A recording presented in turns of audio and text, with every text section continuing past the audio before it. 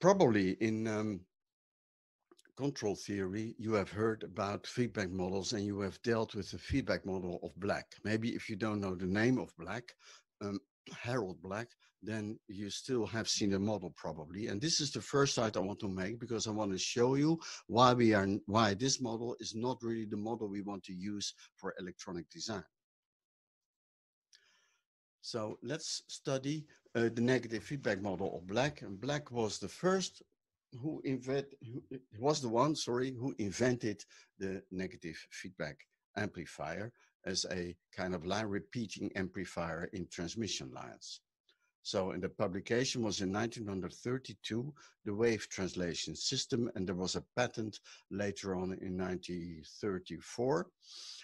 And he worked together with Nyquist and Bode, both probably names that you know, um, and they helped him with setting up the uh, theory for negative feedback.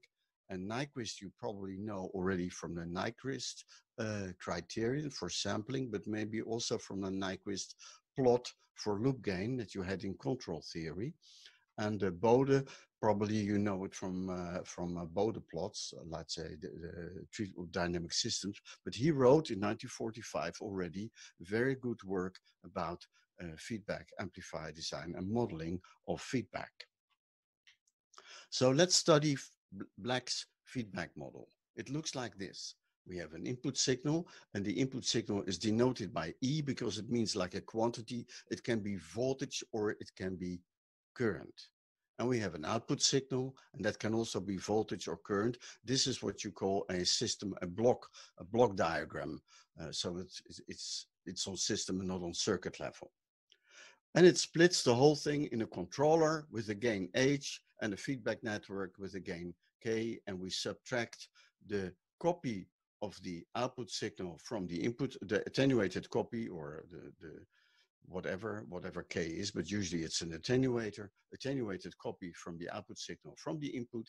And the controller is that if it has a high gain, it makes the error as small as possible. It nullifies the error. That was the idea.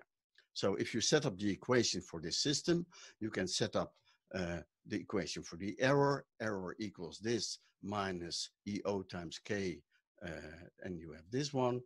And you can say also, if you look this way, that, that it is 1 over h times EO. And if you solve this, if you substitute the whole thing, you can write this input output transfer for, um, for the amplifier. Please notice it is the input output transfer. I didn't connect any source and source impedance and load with load impedance. HK we call the loop gain the loop gain is here, the gain enclosed in the loop. People speak of open loop gain because you calculate the loop gain by making the loop open, but that doesn't change the thing. It's just the way how you calculate it. So in, many, in literature, you often find terms like open loop gain, but it's just loop gain. And closed loop gain, they usually name the gain from the input to the output, but we just call it gain. This is the gain of the feedback amplifier this is the gain of the controller. This is the gain of the feedback network. And this here is the loop gain enclosed in the loop. This is the words we are going to use. Well, if this loop gain approaches infinity, then there is no error signal. Basically, you can say that then the copy of the uh, output signal minus the uh, input signal is zero. You have an ideal gain in this case. It means if we put that in the equation, then um, here, the transfer will be 1 over k. And of course, this is not a miracle. This is what we designed.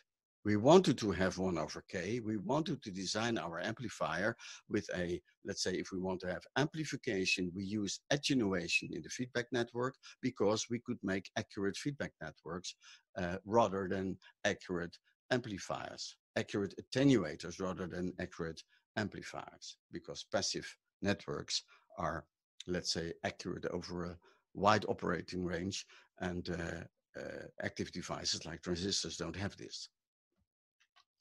So if you rewrite the output transfer, you can do it in this way. And we call, of course, this 1 over k the ideal gain. And this is a contribution, let's say, the second part of the loop gain.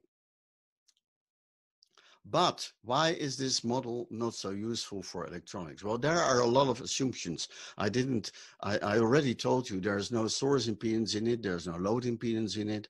Um, so there are a lot of assumptions on this model and let, let's put them together because you have to realize that. Ideal subtraction here that we say that this epsilon equals this input quantity minus k times the, the, the output quantity means it is not sensitive for plus. So it is not sensitive for common mode signals. It re requires an infinite common mode reaction ratio at that point. That means for any source impedance, this subtraction must be wrong, uh, must be good. For any in, uh, input impedance of the controller you want to have this, it also plays no role. And the uh, output impedance of the uh, feedback network, which is here, the uh, driving impedance for this node, they're all independent of this one. You want to have a an, an error, an epsilon here, the, the error signal, that is what we assumed. So source impedance and uh, input impedance of this block and output impedance of this block are not in the loop gain. And there is no direct transfer from input to output. We simply assume that these blocks are unilateral. So there's only transfer in this direction through H and there's only transfer in this direction. But if you put a resistor here, there will be transfer in this direction as well. That is not modeled in the model of black. So the reverse transfer in the controller and in the feedback network. And then there's another thing, the controller gain H, because we said the loop gain is H times K, but what happens if you change the load?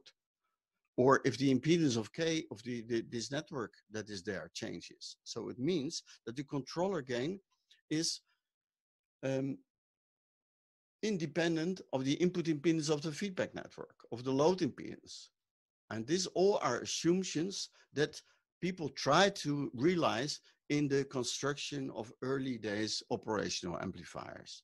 If you give it an infinite common mode reaction, very high input impedance, very low output impedance, then these conditions will probably always be met and you can simply uh, design amplifiers and calculate with K only as an attenuation of your feedback network. But if we are going to design amplifiers, these requirements, these are extra, would be extra requirements for the controller. And also nowadays, operational amplifiers don't have this anymore. A rail-to-rail output operational amplifier does not at all have a low output impedance. Yesterday, with the modeling of this OPA uh, amplifier, we saw that the output DC output resistance was 3.6 kilo ohm. I wouldn't call this low for many uh, applications. So in this case, if we, the, the conclusions will be that the loop gain is not simply the product of H and K. There are many more terms involved. And that makes it difficult to design with this model. So it is suited for system level analysis rather than for circuit design. That is the most important conclusion of the model of the feedback. And there are some examples in the book that illustrate this, 10.1 and 10.2. So this is what I wanted to say about the model of black.